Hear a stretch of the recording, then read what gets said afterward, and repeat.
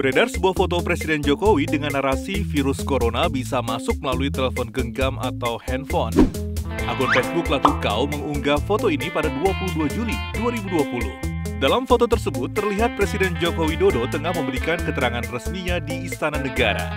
Benarkah Presiden Jokowi sebut virus corona bisa masuk melalui handphone?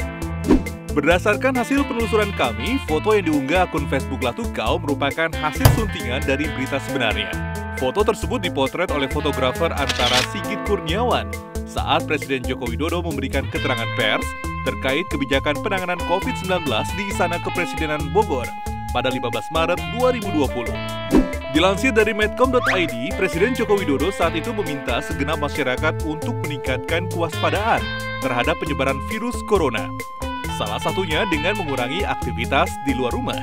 Virus corona sendiri tidak bisa masuk ke benda mati. Namun benda mati seperti telepon genggam bisa menjadi medium penularan COVID-19 antar manusia. Karena virus corona bisa bertahan lima hari di telepon genggam. Dilansir cnnindonesia.com, virus bisa menempel di ponsel dengan berbagai faktor, terutama ketika penggunanya sudah terinfeksi. Lalu virus menempel di telepon genggam. Kesimpulannya, klaim bahwa Presiden Joko Widodo menyebut virus corona bisa masuk melalui handphone adalah salah. Faktanya, foto tersebut hasil suntingan dan virus corona tidak masuk melalui handphone, tetapi hanya sebagai media penularan.